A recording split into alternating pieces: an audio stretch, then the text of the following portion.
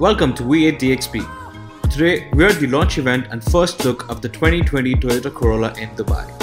The Corolla Hybrid, which has been showcased over here, features a lower, wider and a more aggressive styling that makes it stand apart from all the competitors out there. This is the first time ever that a Corolla is coming in its hybrid variant. And given the rising fuel costs and lower cost of ownership that Toyota owners demand, the Toyota Corolla can offer on a full tank of gas a 1000 kilometer range. Now, one of the myths that was debunked was this is the kind of a hybrid that does not need to be plugged in or does not need to be charged. It is the kind of a hybrid that automatically charges on its own with technology such as regenerative braking, braking and such. It created a lot of buzz and a lot of people were very excited to see what the car has to do. And one of the things that, the, that really stood out was in terms of how good the car is styled. It is really a very, very well styled vehicle uh, and it gives you very good quality of fit and finish as well.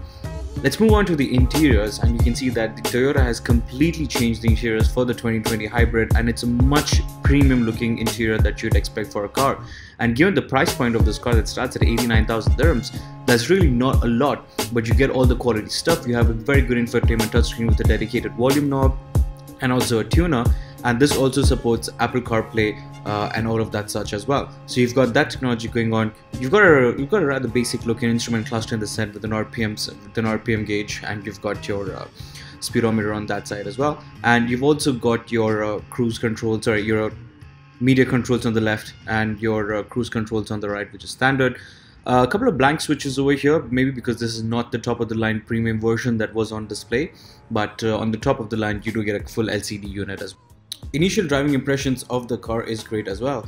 Uh, it doesn't feel like it's an hybrid, it feels like just another normal car. Uh, it's got a very nice steering wheel which is electronic and it's really amazing to drive in around city and you can see that this is the top of the line variant so it has the electronic console at the back in terms of your RPM and speedometer uh, and you can see that it also has uh, a wireless charging port that's given over here that you can place your phones and charge. On the rear over here, you also have drive mode selectors, your traction control, and your EV mode selector, which lets you choose between different variations. And uh, overall, you've got a great build quality of everything else uh, that's included over here, and uh, good feel for the tactile for the air conditioning unit as well, and great visibility all around is uh, what we could see from initial instructions. This is obviously the monitor that shows you your engine and your battery power that you're using. The initial impressions for the Corolla are obviously great and uh, I think that's a very exciting car that Toyota has launched especially at this price point and this market that's now getting more and more hybrid cars into, into the arena. Uh, it'll be very interesting to see how this car competes against all the other competitors and what the real world gas mileage for this car is going to be which is, which is going to be one of the major selling points for this car.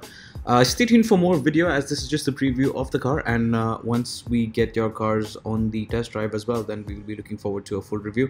Consider subscribing to the channel if you like the content and I will see you soon.